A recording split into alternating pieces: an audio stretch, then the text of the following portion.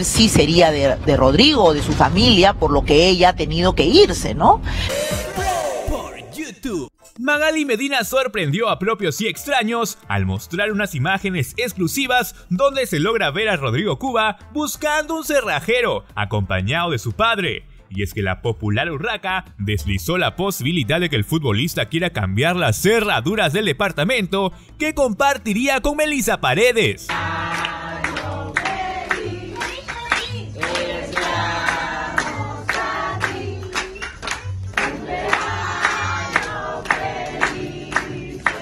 El gato ha ido a Surco buscando al parecer un cerrajero acompañado de su padre y se lo han llevado a donde vivía él con Melissa Paredes, comenzó diciendo la conductora.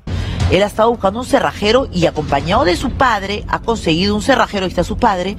Rodrigo Cuba también acudió a las autoridades para dejar por sentado el abandono de hogar de su aún esposa Melissa Paredes. Mi cara de domingo.